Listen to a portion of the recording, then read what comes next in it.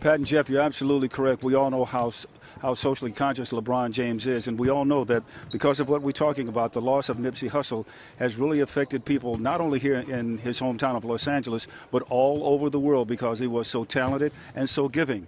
And one of those that he had a real distinct impression upon, the Lakers' LeBron James. First of all, my, my condolences and my respect to, to, to Nipsey and his family.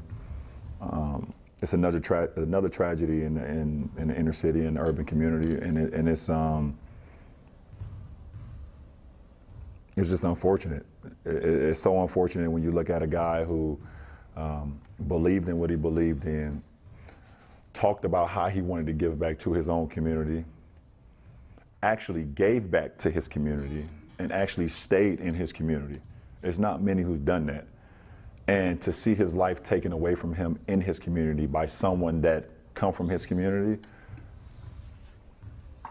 it's it's one of the it's one of the most unfortunate events that's happened in American history. And, and I just feel for it um, being here him being a friend of mine as well. Um, you, you just don't I still don't believe it.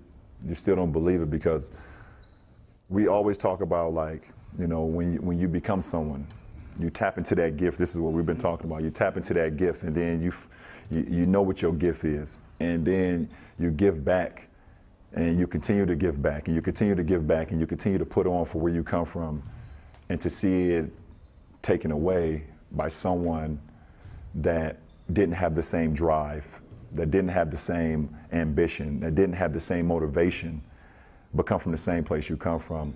Um, it's what we have to deal with um, in our own inner cities.